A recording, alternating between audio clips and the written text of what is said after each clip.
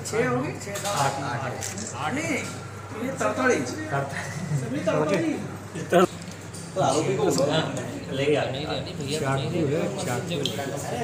भैया जब करे तो आगे भैया का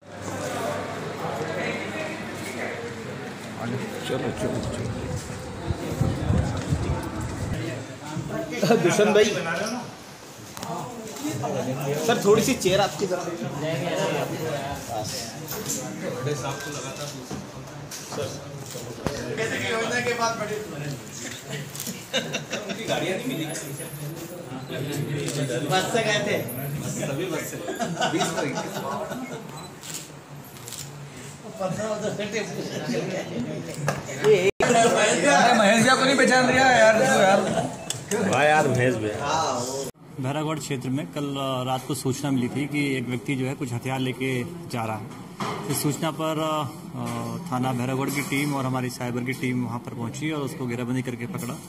जो व्यक्ति था उस उसके पास में एक पिस्टल, एक बारह बोर का कट्टा और आठ चाकू, बड़े चाकू ये मिले। ये आरोपी जो है विवेक सोनी है। पहले नागदा में रहता था। उसके फादर की मृत्यु के पश्चात वो अपनी माँ के साथ में यहाँ पर रहने आ गया था। ये जो है, जब इससे पूछताछ प्राथमिक रूप से जो की गई तो इसमें पता चला कि ये शाजापुर के दोपाड़ा नाम के एक स्थान है। वहाँ से ये सारी चीज़ें लेकर आया है। सर ये ये जो अभी कहाँ से पूर्व दोपाड़ा से लेकर आता था और वहीं से लेकर आया था। पुराने आपराधिक रिकॉर्ड पुराना आपराधिक रिकॉर्ड तो अभी नहीं मिला है। हम देख रहे हैं और कहीं बाहर तो सिर्फ़ अपराध नहीं है।